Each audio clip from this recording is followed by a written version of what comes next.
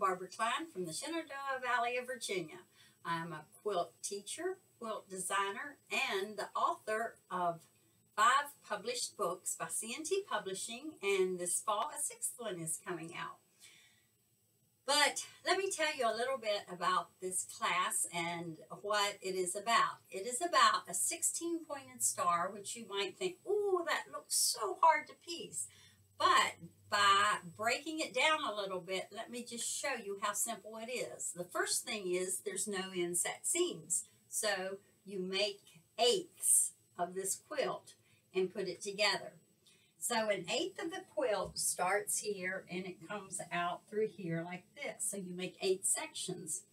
The, fe the feature in this pattern that is very unique is these spiky points that come out from the star, these white little spikes, and they are made in diamonds. A simple way, but I'm not going to tell you how, and that same diamond is made in the center of the quilt to create the pinwheel, and it is also created out here on the edge.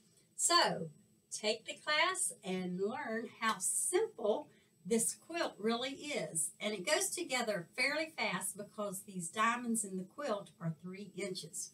So I hope you join me for the class and we will have fun and go from here. Hope to meet you someday.